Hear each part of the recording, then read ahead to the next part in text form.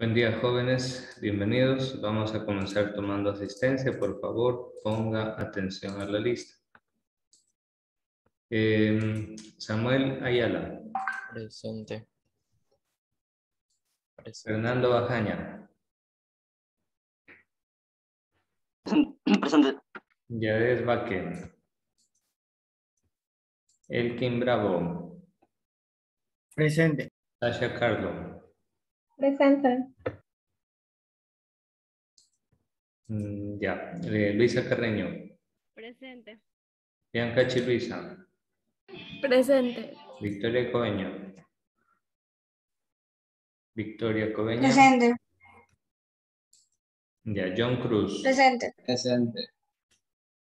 Víctor Delgado. Presente. Freddy Fariñón. Listo, ya lo vi.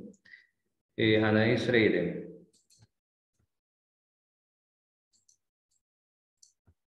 Anthony Guzmán. Presente. Christopher Herrera. Presente. Daphne Jiménez. Presente. Dylan Amilla. Presente. María Belén López. Presente. Cristel Manzano. Presente. Emily Méndez. Listo, Emily, Emily Montes. Presente. Axel Onofre. Axel Onofre. Presente. Eh, Yasu Pacheco. Presente. David Panchana. Presente. David Panchana. Axel Presente. Pérez. Manchana, profesor. Presente. Ashley Ramírez. Presente. Joshua Rosado. Presente. Ángel Sanginés. Presente. Samara Taylor. Presente. Diego Tomalá. Diego Tomalá. Génesis Vargas. Presente. Víctor Verde Soto. Presente. Diego Intimillán. Presente. Ariadne Vinuesa. Presente. Lisette Zambrano. Lisette Zambrano. No está.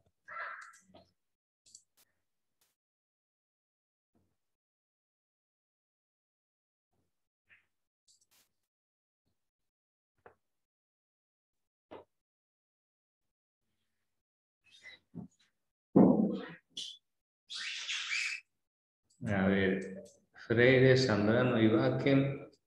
Vamos a ver si encienden la cámara ahora.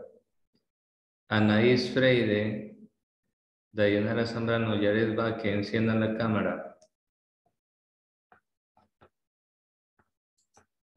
Yared Baque, encienda la cámara. Samara Taylor.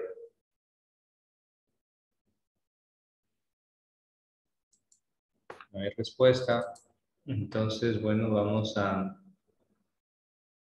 a proceder a sacarlos de Zoom.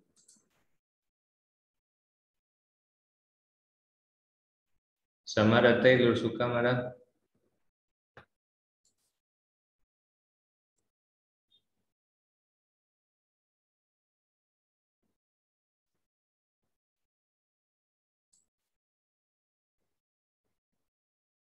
Bueno, listo.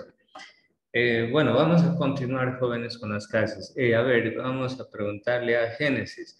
Génesis, el día lunes lamentablemente no me pude conectar, pero ustedes hicieron unos trabajos en la plataforma, ¿cierto? Sí, profe.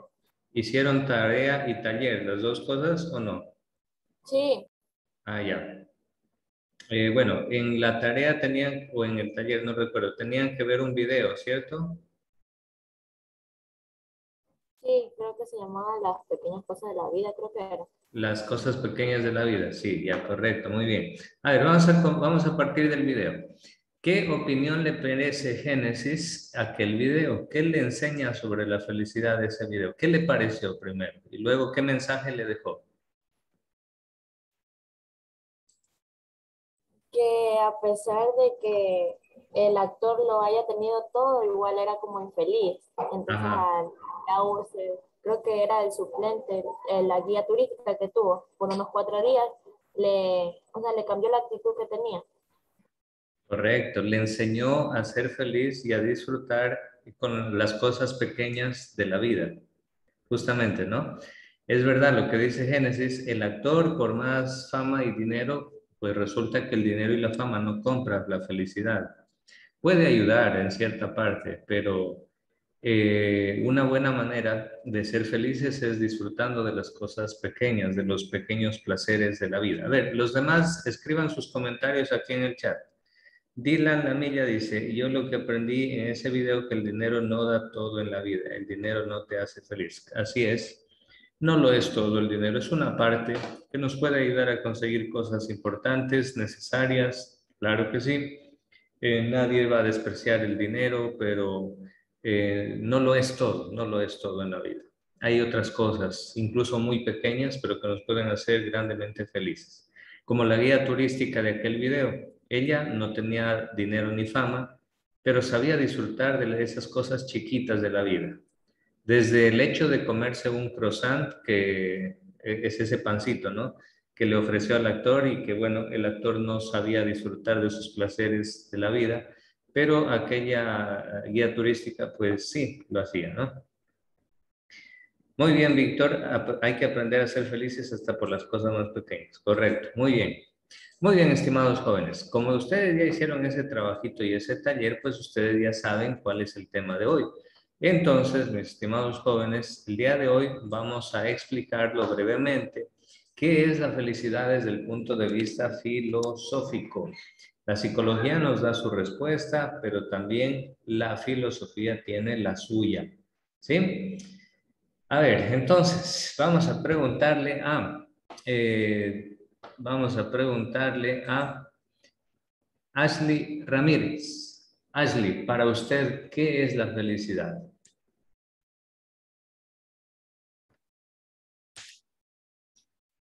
Y Anthony, prepare la segunda respuesta de la pregunta que dice, ¿qué debemos hacer para ser felices? A ver, Ashley Ramírez, ¿qué es para usted la felicidad? Yo creo que la felicidad, eh, bueno, para mí es cuando tú te empeñas en algo y te sale bien, cuando cumples tus metas y yo siento de que te sientes feliz por haber logrado eso. Claro, por supuesto. Cumplir las metas es parte de la felicidad. Así es, muy bien, muy bien. Eh, Anthony Guzmán, ¿qué debemos hacer para ser felices? Yo digo que para poder ser felices apoyo, tener una familia, amigos para compartir momentos donde la pasemos bien, ¿no? Ajá. También se puede decir que para ser feliz hay que vivir en una sociedad bien y estar en paz. Y a compartir los momentos con los demás. Muy bien. Eh, Belén López, ¿usted qué diría? ¿Qué debemos hacer para ser felices? Eh, tratar de cumplir nuestros sueños, este, pasar buenos momentos con, con los que más queremos, mm, hacer lo que nos hace feliz, lo que nos transmite sentimientos positivos. Ajá, correcto. Muy bien, efectivamente, jóvenes, todas esas respuestas son absolutamente válidas y sin embargo no agotan la pregunta, se puede decir mucho más todavía. Entonces vamos a ver desde el punto de vista filosófico qué es la felicidad. Y bueno, aquí hay que entender lo siguiente. Eh, para Aristóteles, la ética y la política son dos aspectos inseparables de la vida del ser humano. Son dos ciencias que estudian el comportamiento humano. La ética analiza la psicología humana y la política analiza los regímenes políticos concretos. Entonces, desde la ética se estudia y se comprende la felicidad. Aristóteles eh, plantea muchos problemas similares a los de Platón, Pero Aristóteles afirma que la ética se ocupa de las acciones humanas y que éstas conducen al bien del hombre. Primer punto importante, jóvenes. Según Aristóteles, todas las acciones humanas eh, buscan conseguir un bien. Si yo le pregunto, ¿para qué usted estudia? Pues la respuesta es que en el fondo usted estudia porque quiere conseguir un bien. ¿Cuál es ese bien? Ese bien puede ser aprobar la materia, aprobar el colegio, estudiar la universidad. Si usted me dice una persona que trabaja, esa persona realiza esa actividad porque busca un fin. ¿Cuál es ese fin? Busca el bien de esa persona. ¿Y cuál es el bien de esa persona con el trabajo? Pues tener un sueldo para comprar las cosas necesarias para la vida, el alimento, la medicina, el estudio, la vestimenta, etc. Entonces, dice Aristóteles que las acciones humanas nos conducen siempre al bien, siempre y cuando sean cosas buenas, ¿no? Porque si una persona hace cosas malas, no le van a conducir al bien. Muy bien, seguimos. Eh, en la ética, la ética tiene por objeto el estudio de la acción humana. Aristóteles eh, dice que el hombre es un ser natural y que se dirige a un fin. Y el fin del hombre es ese bien. Y el bien supremo para el hombre es la felicidad. En pocas palabras, jóvenes, dice Aristóteles que todo lo que hace un ser humano lo hace para alcanzar la felicidad. Es decir, mis estimados jóvenes, la felicidad es un componente importantísimo en la vida de los seres humanos. Para eso vivimos, vivimos para ser felices, mis estimados jóvenes, vivimos para ser felices. A ver, Ariadne esa pregunta para Ariadne. Ariadne, si tuviera que calificarse a sí misma del 1 al 100, ¿qué tan feliz se siente usted?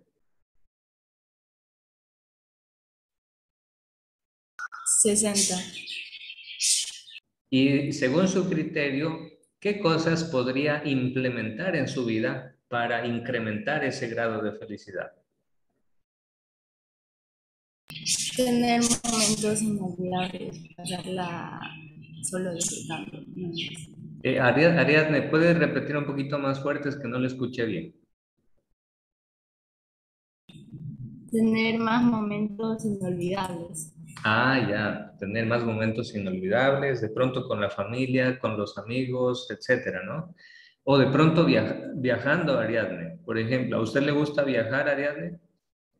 Sí. Ya, por ejemplo, cuando uno se viaja, uno se tiene, se graba momentos inolvidables para toda la vida. Así es. Entonces, Ariane, muy bien. Usted tiene ahí bien clara, eh, bien claros cuáles son esas posibilidades que usted tiene para incrementar ese nivel de felicidad. Y bueno, pues ustedes son tan jovencitos, tienen toda la vida por delante, así que estoy seguro que si ustedes saben vivir bien, como debe ser, vivir racionalmente, vivir siempre pensando, vivir siempre haciendo el bien. Estoy seguro que a lo largo de la vida van a ir llenándose de tantos momentos de felicidad que se va a ir incrementando esa felicidad. Muy bien, entonces recuerden, el fin del hombre es la felicidad. Si le pregunta a Aristóteles, ¿para qué está el ser humano en la tierra? Aristóteles le diría, el ser humano está en la tierra para ser feliz. Jóvenes, ¿para qué ustedes están en este mundo? La respuesta tiene que ser, están para ser felices. Busquen la felicidad, siempre en las cosas buenas, como nos, nos enseña Aristóteles. ¿sí? Hay tres teorías éticas que se encargan de estudiar la felicidad. Para estas teorías, la felicidad es el fin supremo, es, la máxima aspiración de todo ser humano. ¿Por qué quiere sacar buenas notas usted? Para sentirse feliz, para ser feliz. ¿Por qué quiere estudiar? En el fondo es para ser feliz, porque con el estudio va a obtener un trabajo, una profesión, va a obtener eh, un empleo, va a obtener un sueldo, etc. ¿Por qué usted ayuda en la casa? Para ser feliz, no solo usted mismo, porque usted se sentiría más feliz viviendo en una casa limpia que en una casa sucia, ¿verdad? Entonces, limpiar la casa en el fondo le ayuda a ser feliz. Usted busca la felicidad con eso. Y no solo su felicidad, sino la felicidad de sus familiares, la felicidad de su mamá, que se va a sentir alegre si usted le ayuda en la casa.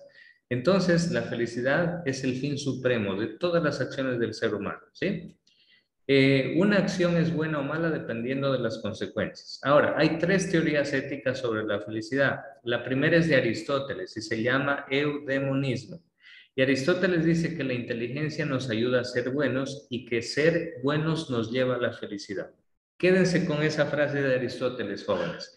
Si usted se pregunta, ¿cómo puedo ser más y más y más feliz? La respuesta de Aristóteles es, para que sea más feliz, sea más y más buena persona, buen hijo, buen hermano, buen estudiante, buen amigo, buena amiga, buen primo, buena prima. Es decir, sea usted una persona más buena cada día y usted va a ser más feliz. Fíjense, jóvenes, qué importante la enseñanza de Aristóteles sobre la felicidad. Para Aristóteles, eh, la bondad, el ser buenos, el hacer cosas buenas, nos lleva a la felicidad. ¿Quiere usted ser más feliz?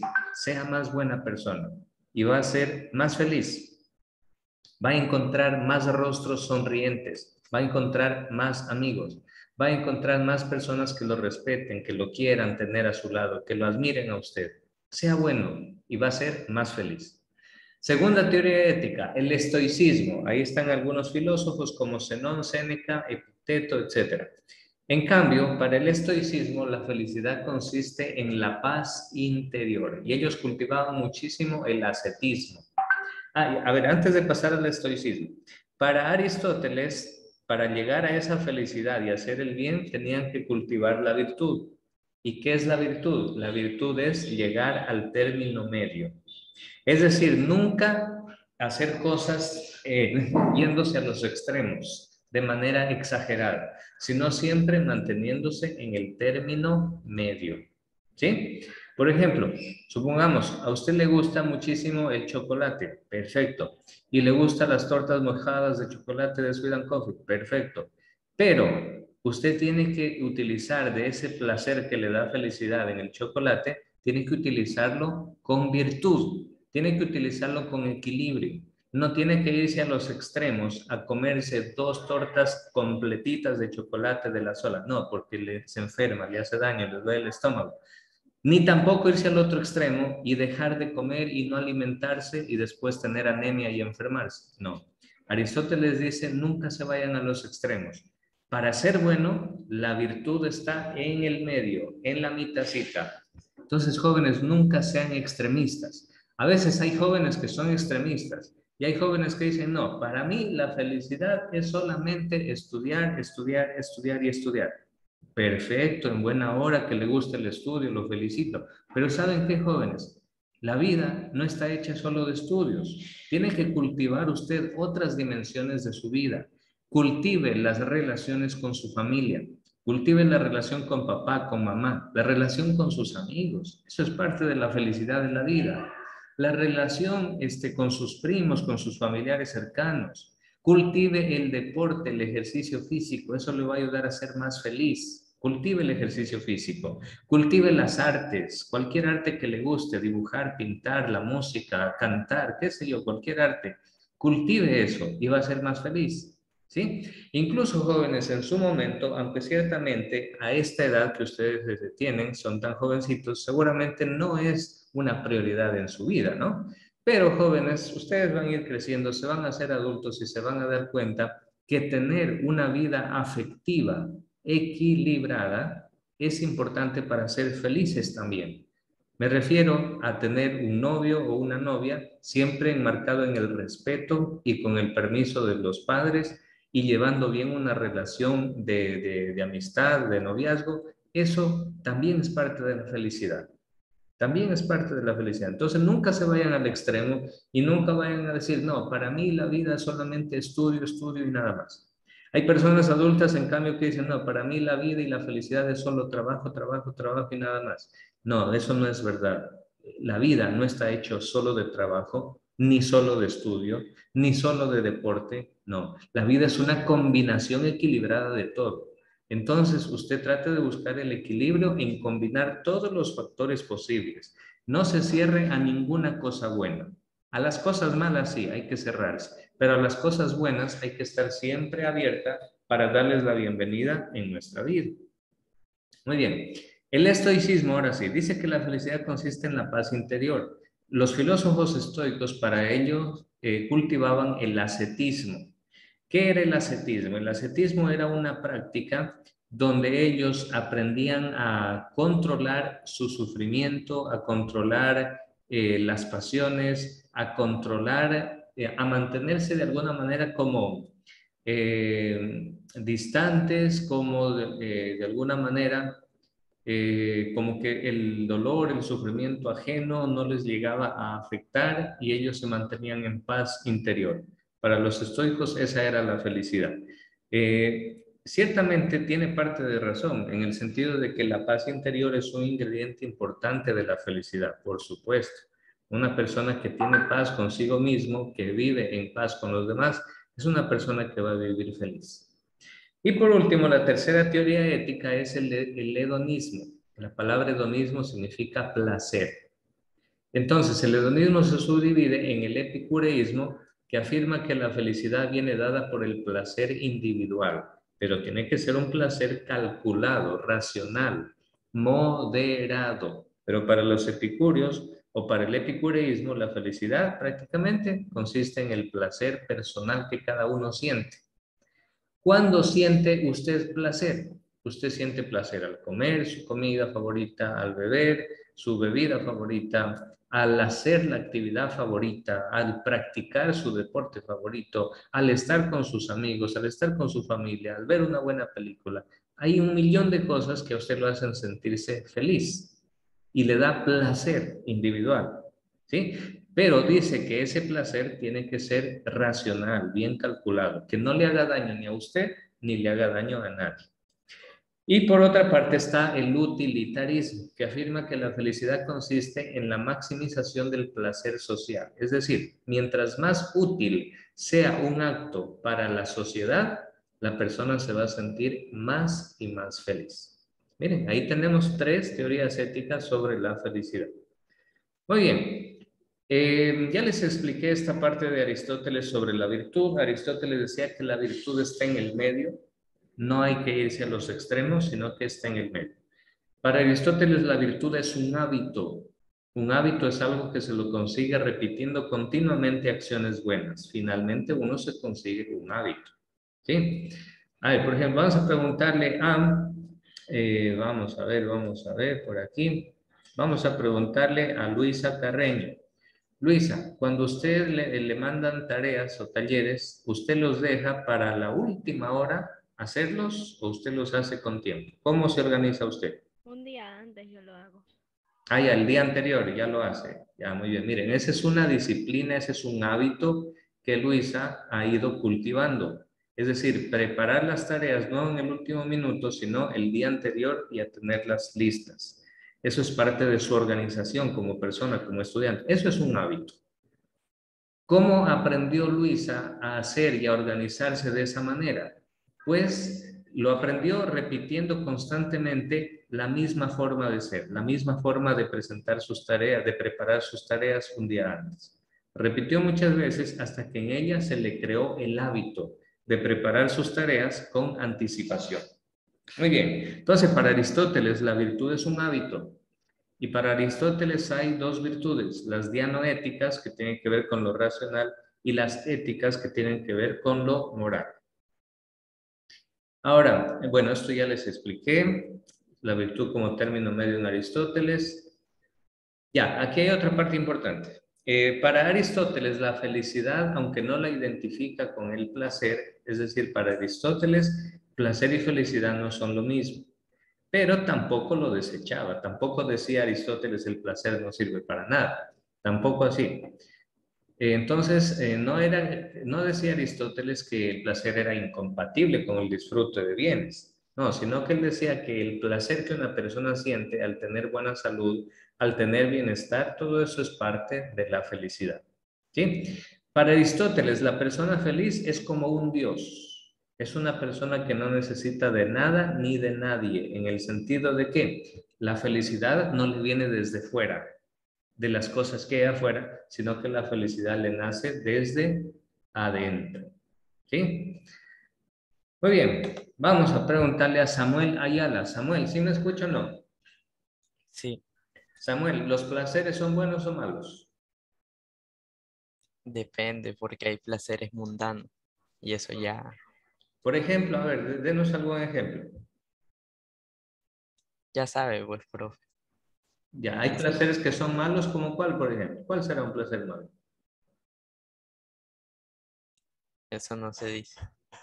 ¿Y por qué no? Es porque acá hay gente. Y toda la gente no tendrá placeres. A ver, lo que pasa es que aquí están entendiendo mal el concepto de placer. Eh, yo creo que aquí hay, hay una concepción, de pronto Samuel, usted tiene la concepción de que el placer está relacionado solamente con la parte sexual. Y no es así, Samuel. El placer no está solo en la parte sexual. El placer, usted siente placer cuando ve su película favorita, cuando come el postre favorito, cuando come la comida favorita, cuando le compran la ropa, justo la ropa que más le gusta. Entonces, ahí siente placer. Entonces, jóvenes, sáquese de la cabecita, el placer no está relacionado solamente al campo sexual. El placer es mucho más amplio.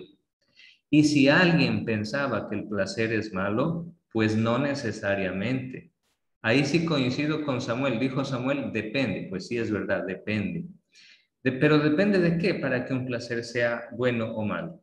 Pues depende de varias cosas. Una de ellas depende de, depende de que no se exagere eh, en ese placer. El placer que usted siente al comer, no sé, el pollo frito, que es una comida deliciosa para muchas personas, por ejemplo, pues está bien mientras no abuse de ese placer y mientras no se coma dos pollos enteros. Si, si lo hace, se va a enfermar, le va a doler el estómago. Entonces, hay que utilizar de esos placeres, pero con medida, racionalmente, regulándose. ¿Sí? Ahora, yo veo que ustedes tienen un poquito de tabú con el tema de la sexualidad, pero jóvenes, para eso nos estamos educando y hay que saber entender bien las cosas, ¿sí? El placer dentro de lo sexual existe, es real, es real. Si lo queremos ver desde el punto de vista religioso, incluso se puede decir de que el placer sexual fue creado por Dios. ¿Para qué? para que el hombre y la mujer puedan procrear hijos. Porque nadie que quisiera tener hijos, si en el acto donde se concibe a un hijo, donde queda embarazada la, mujer, no hubiera placer. si, si, hubiera, si en vez de placer hubiera cosas eh, eh, negativas, más bien todas las personas huirían de la sexualidad y nadie tendría más hijos. Entonces, jóvenes, hay que entender bien las cosas. Pero, ¿qué es lo que está mal en el placer sexual? En el placer sexual está mal simplemente cuando el ser humano no se sabe controlar y se deja dominar por la búsqueda desordenada de ese placer. Y ahí tenemos a hombres o mujeres de pronto que buscan o que van a buscar ese placer sexual de una manera desordenada. ¿Cómo desordenado? Ustedes me van a decir. Por ejemplo, las personas que acuden a un prostíbulo, las personas que acuden a un cabaret, acuden a comprar eh, ese placer y muchas veces ahí terminan enfermos, muchas enfermedades de transmisión sexual o terminan adictos a ese tipo de placeres también. O de ahí vienen también muchas situaciones, jóvenes, cuando las personas eh, que no logran controlar ese deseo de ese placer, terminan convirtiéndose en violadores de niños o violadores de niñas.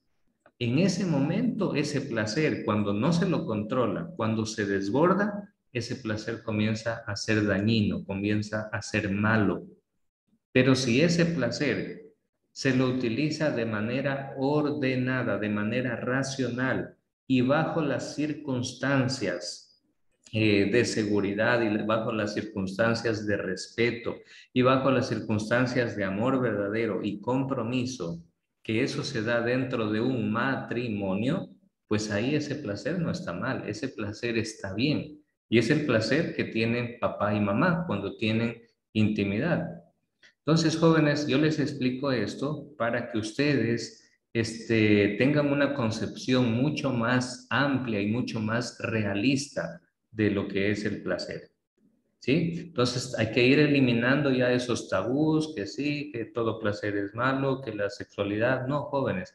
Si para eso nos estamos educando, para liberarnos de complejos y para entender bien las cosas, para entender bien las cosas, ¿sí? ¿Cuándo más está mal el placer sexual? Cuando, por ejemplo, un jovencito o una señorita no controlan el deseo de ese placer sexual y sin ser mayores de edad, sin tener trabajo, sin estar casados ni nada, comienzan a tener relaciones sexuales prematrimoniales y después la niña queda embarazada con 15, 14 años de edad, sin tener trabajo y sin ningún futuro que darle al hijo, ya queda embarazada. Ahí sí, ese placer terminó haciéndole daño. ¿Pero por qué? Porque la persona no supo utilizar ese, ese placer en el momento adecuado. Es decir, cuando ya esté dentro de un matrimonio, cuando esté casado, cuando ya tenga una, un trabajo para hacerse responsable de las consecuencias de los actos. ¿Sí? Entonces, mis estimados jóvenes, hay que saber entender bien esta parte. El placer es algo poderosísimo que lo puede volver adicta a la persona. ¿Por qué creen ustedes que hay personas que se vuelven adictos al cigarrillo? Porque el cigarrillo tiene sustancias que le produce cierto placer a algunas personas. ¿Por qué creen que la gente se hace adicta a las drogas? Porque las drogas también generan ciertos placeres que los vuelven adictos. El alcohol, lo mismo. Entonces, jóvenes, eh, el placer es una fuerza muy poderosa, pero usted tiene que saberlo controlar y tiene que saber entenderlo bien y controlar bien. Usted tiene que controlarlo al placer y no el placer controlarlo a usted. ¿Sí? Muy bien, jóvenes, preguntas, comentarios, escriban en el chat de Zoom, por favor. Preguntas, comentarios, lo que sea.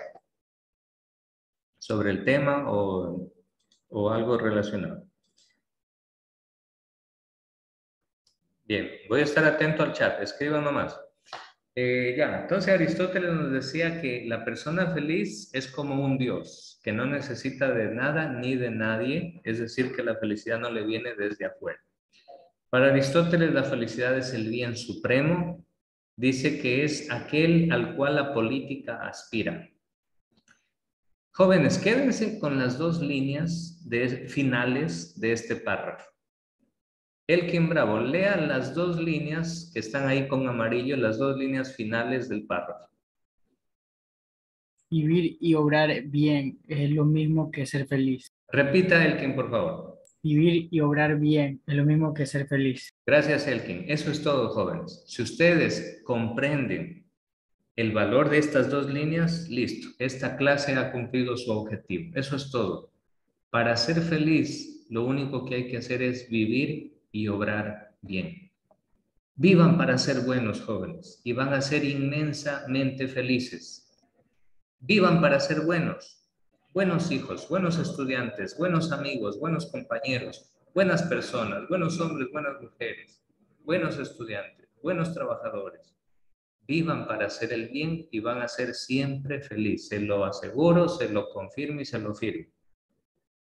¿Sí? La persona que hace el bien es una persona que va a ser feliz. No quiero decir que una persona que haga el bien no va a sufrir injusticias. Sí, el mismo Jesucristo, miren jóvenes, el mismo Jesucristo, que hizo tantas cosas buenas, curó a los enfermos, era compasivo, daba buenos consejos, enseñaba con mucha sabiduría, de manera gratuita, no les cobraba ni un centavo por enseñarles a las personas. Hizo tantas cosas buenas Jesús y sin embargo lo trataron injustamente y lo condenaron a la pena de muerte en la cruz. Pero, jóvenes, les aseguro que Jesús fue inmensamente feliz porque él vivió para hacer el bien. Entonces, esta es la clave de esta clase, jóvenes. Vivir y obrar bien es lo mismo que ser feliz. ¿Sí?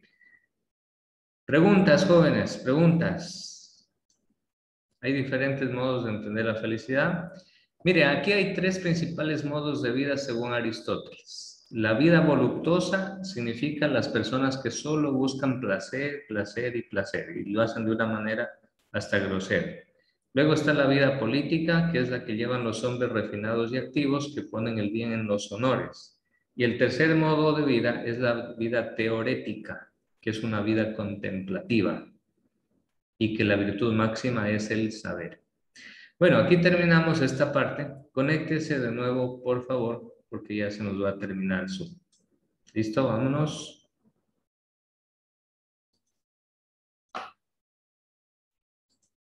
Ya, mensaje leído, Diego Tomalá, muy bien. Listo, joven, nos conectamos enseguida, vámonos.